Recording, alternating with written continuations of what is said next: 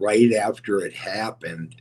I think it was Curt um, Hennig, um, and we all talked about it, and then that's what we had heard that exactly that you know he was sh- shooting up to you know I mean Rick had that I guess you call it demon of of you know he just wanted to get kinky as hell and get numb and and then he would you know actually shoot it in his pecker and mm, you know like one out of a million guys will do that. That's just very rare. I mean that's the extreme of the extreme.